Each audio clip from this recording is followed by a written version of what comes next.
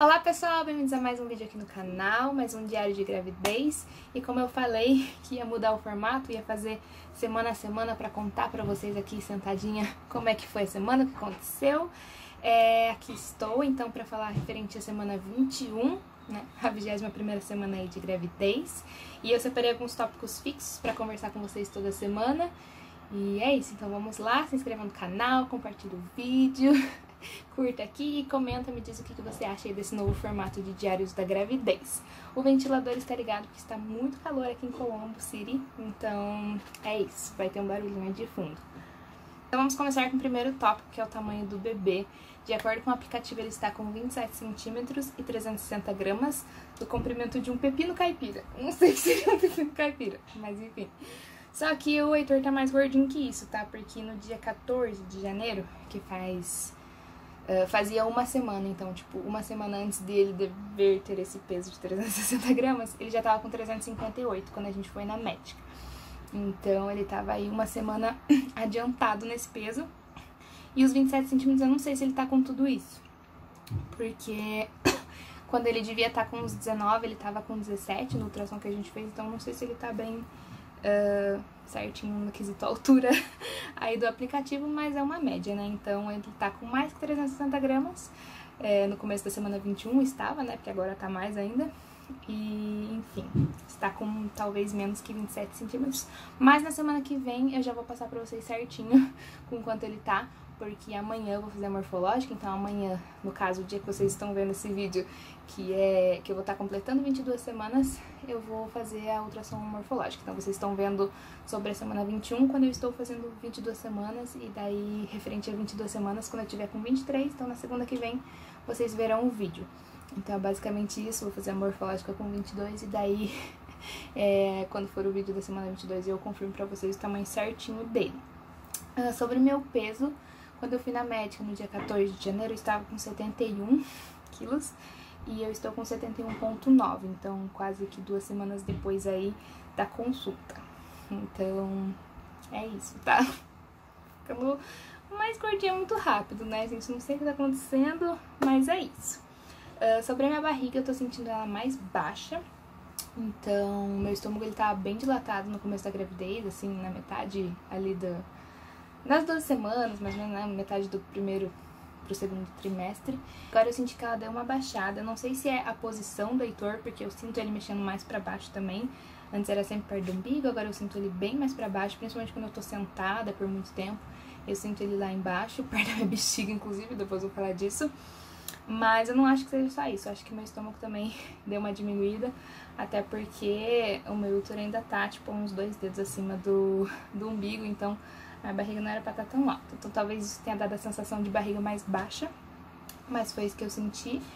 E nos últimos dois dias, na sexta e no sábado, na verdade, hoje já não tô sentindo isso. Eu tava sentindo a barriga muito esticada e dura, e não era contração de treinamento, assim, dela ficar dura por 30 segundos e parar. Eu acho que era a posição que ele tava, não sei, mais pra frente. Eu sei que eu tava com bastante falta de ar. Minha barriga tava toda esticada e toda dura tipo, a noite inteira, assim, o dia inteiro. Então, tava bem estranho. Minha barriga não fica tão dura assim durante o dia. Mas em relação à minha barriga é isso, não tenho estria por enquanto, não deu nada, graças a Deus. Espero que continue não dando, né? Então, vamos mostrar o tamanho da barriguinha com 21 semanas e 6 dias, então. Sinto que minha barriga está enorme. Não sei se é só impressão. O que você acha, amor? Está enorme. Está enorme, nossa, obrigada. O Heitorzinho está enorme. E é isso, 21 semanas e 6 dias. Em relação aos movimentos do bebê, como eu disse, às vezes eu sinto ele mexendo um pouco mais para baixo. E eu já falei nos vlogs também que eu sinto ele mexer bastante quando eu tô fazendo o cursinho da OAB. Principalmente quando a professora é mulher, não sei se ele confunde com a minha voz ou se ele ouve perto ali da barriga a voz, né, por causa do notebook. E ele mexe muito, assim, muito mesmo. E nessa semana que eu voltei a trabalhar, que eu ficava sentada por um bom tempo durante o dia. Ele quase não mexia durante o dia, fora na sexta-feira, que teve bastante barulho, ele mexeu bastante. Mas de noite ele mexia bastante. E na sexta ele mexeu o dia inteiro. Cheguei para tomar banho, ele mexeu um monte. De noite eu tentando dormir, ele mexia. E ontem também. Ontem ele tava mais quietinho, mas a barriga mexeu bastante, assim, ele tava chutando bastante forte. Então, o Ricardo sentiu, tanto que ele vai falar sobre isso depois. Uh, e eu vi, assim, minha barriga mexendo, tipo, bem louca, assim, pulando e, e eu conseguia ver a barriga mexendo bastante. Mas não consegui gravar, porque eu gravo ele para, então não gravei. Mas a barriga tava mexendo bastante. Então o Heitorzinho está bem ativo, continua bem ativo, mexendo um monte. Que?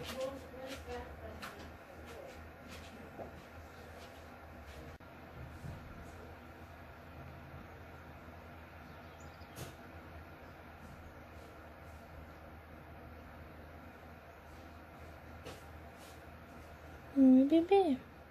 Como estou me sentindo, como me senti aí, né, emocionalmente durante essa semana.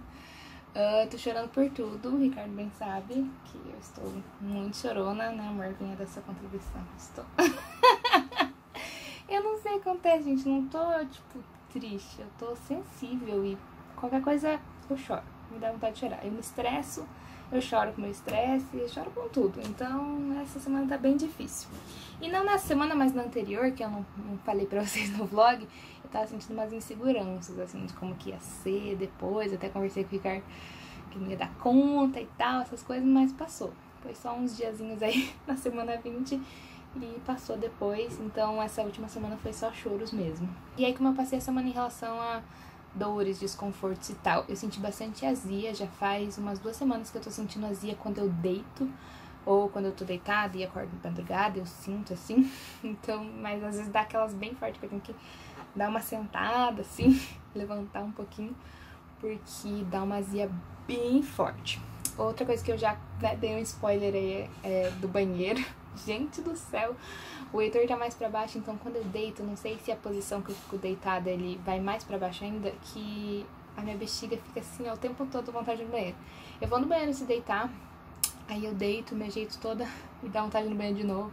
Aí eu vou no banheiro, assim que eu deito, eu sinto que eu ainda tô com vontade no banheiro, aí eu levanto de novo. Então, assim, eu vou mais cinco vezes antes de conseguir deitar. Então tá bem difícil para dormir, tá, tá bem complicado durante o dia. Às vezes eu tenho que ir, tipo, várias vezes seguidas, assim por causa da posição da Heitor. Então, tá bem complicado o que tá afetando o sono, né? Não só isso da, do banheiro, que eu acordo muito e, e para eu dormir mesmo tá difícil. Quando eu encontro a posição, eu tenho que ir no banheiro, então tá difícil encontrar a posição. É, minha barriga parece que pesa. Eu, eu durmo de lado sempre, né? E minha barriga parece que pesa e não tem apoio, então eu tento colocar travesseiro, coloco travesseiro nas costas e quando eu me ajeito eu tenho que levantar Então, tá muito difícil dormir nos últimos dias, ainda mais nos últimos dias que eu voltei ao trabalho, né? Então eu tinha que acordar cedo, tá bem complicado. E o último quesito aí dessa questão de, de como passei a semana foi a pressão baixa.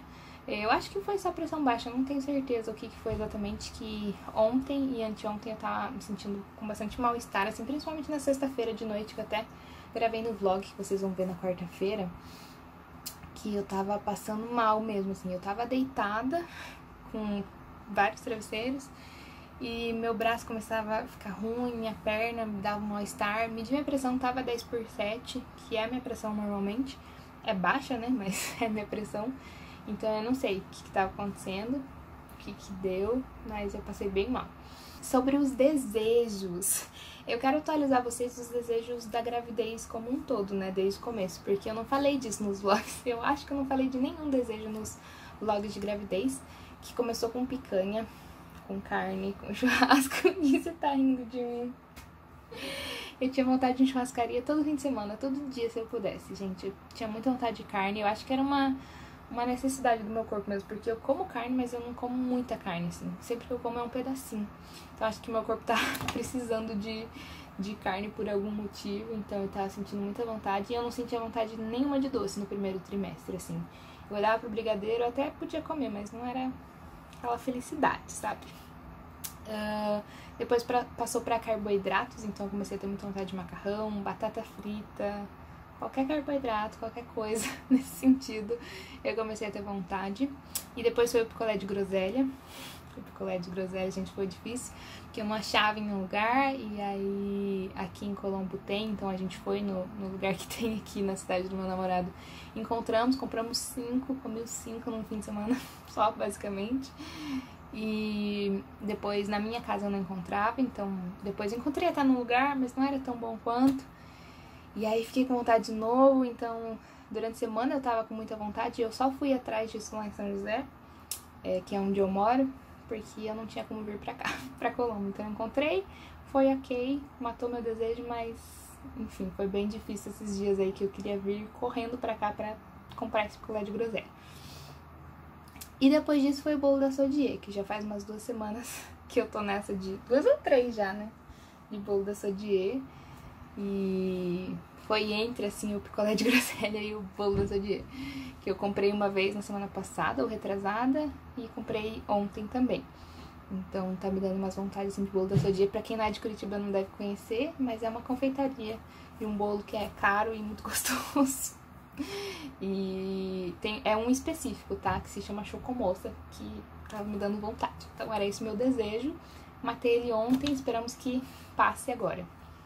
Sobre exercícios. Essa semana eu fui uma vez só na academia. Tudo bem, eu voltei a trabalhar, tava cansada, não tava dormindo direito, então não consegui ir. Consegui em um dia, porque eu fui na psicóloga que era do lado da academia. Então eu aproveitei e fui. Gostaria de ter ido mais, gostaria, mas não fui, né? Eu tava indo até então duas ou três vezes na semana, mas na semana fui só uma, então pretendo melhorar pra próxima. E não fiz mais nenhum exercício fora isso, não. Só uma vez na academia mesmo. Compras ou recebidos? Não comprei, não recebi nada. A mãe do Ricardo comprou uma caixinha pra gente. Sei lá onde é que tá agora já, onde o Ricardo colocou. Que não sei onde é que tá. Mas enfim, uma caixinha pra colocar algodão, pra colocar assim em cima da cômoda junto com o trocador. E aquelas roupas que estão ali atrás são as que estavam aqui já no Ricardo, que a mãe dele comprou, tem coberta, toalha e tal, que eu vou levar pra minha casa agora esse fim de semana, já pra tirar daqui, né, e colocar lá já no cantinho dele. Então já vou levar, mas não tem nada novo não. Comprei nada novo, mas estou precisando comprar roupas pra mim porque já tá ficando bem difícil. Eu preciso usar calça para trabalhar, não posso ir de shorts, saia. Então tá bem complicado. Olha, pessoal. Desculpa. então, sobre as visões do pai nessa 21 primeira semana. O que que. Não, não essas visões. Não. O que que. Como foi a semana pra você? O que, que você achou da semana 21? Conte-me. Semana 21? Essa última? Essa última. Porque eu não estive presente. Essa última semana. Como foi pra você? Bom, eu voltei a trabalhar. Voltamos. Juntos. Pós-férias. trabalho. Essa foi a minha semana. Isso é em relação à gravidez. Você ganhou um presente no trabalho. Uhum. Ganhei macacão. É. O que mais? Eu ganhei um macacão. Amor, como você está se sentindo? Você tinha dito na médica, por exemplo, que você estava preocupado. nervoso, preocupado. Ah, continua preocupado. preocupado. Eu vou continuar preocupado. Por quê? Por que a preocupação? Para dar tudo certo na gravidez. Vai dar tudo certo. Espero. Pra mim ele fala, tá tudo certo, deu e ele fica preocupado. Mais alguma coisa? Não, nada mais. Você sentiu o Heitor mexer por fora pela primeira vez Ah, é também. verdade. Nossa, ó, Que... que desimportante. Não, Ah, ele tá chutando bem forte, já dá pra sentir. Viu só? E sobre estar saindo colostro do meu filho? Algo mais? Não, Algum- já, já havia acontecido antes. Já via. E aí? Que bom, Tudo normal? tudo normal. Ótimo. Então tá bom. Obrigada pelas considerações.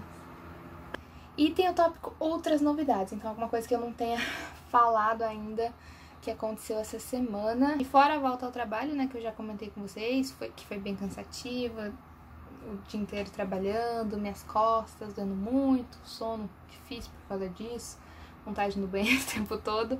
Foi bem complicado, assim, até porque eu não trabalho todas essas horas que eu trabalhei nessa semana, que foi semana pedagógica, eu trabalhei 44 horas essa semana e eu não trabalho tudo isso. Eu sou horista, né? É, então eu faço algumas aulas durante o dia, né? Dou algumas aulas, mas é só. Então foi bem complicado pra mim, mas vai ficar, tende a ficar melhor nas próximas semanas. E a única coisa diferente que aconteceu, como a gente falou ali nas visões do pai, foi o colostro é, começar a sair. Na verdade, ele já começou a sair acho que na vigésima semana. E é quase toda noite. Eu acordo com duas, três gotinhas em cada seio, assim, na camiseta.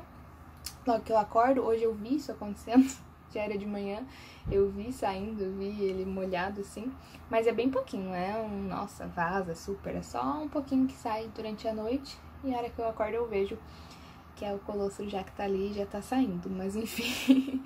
Só porque eu falei que não era muito, do nada, nem nem estar deitado saiu aqui, mas enfim, né?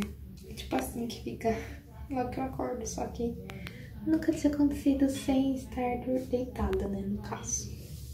Acho que é só isso de novidade que teve que eu não comentei ainda sobre essa semana. E foi isso então, gente. Esse foi o diário de gravidez da 21 semana. Uh, se você me acompanha no Instagram, eu vou estar postando coisas de 22, então não se confundam, tá tudo certo. Inclusive me sigam quem não segue ainda. E é isso, se inscreve no canal, curte o vídeo, comenta o que você achou e compartilha com os amigos para me ajudar. Um beijo e até o próximo vídeo. Tchau, tchau!